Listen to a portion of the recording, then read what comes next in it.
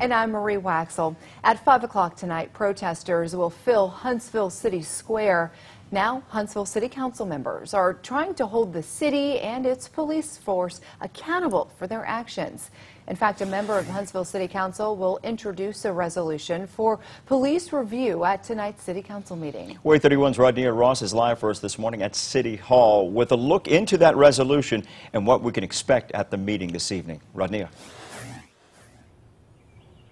Well, it's quiet outside of City Hall right now, but that's likely not going to be the case later tonight. That's because uh, there's going to be a peaceful protest that's going to happen right before the City Council meeting where people will be able to come and share their thoughts with city leaders.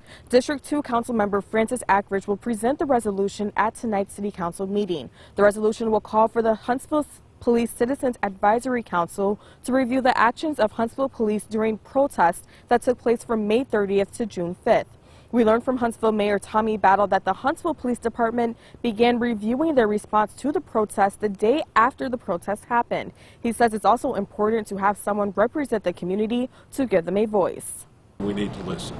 Uh, we need to listen to the people and what they have to say, and I think this Thursday night will be a listening session for us.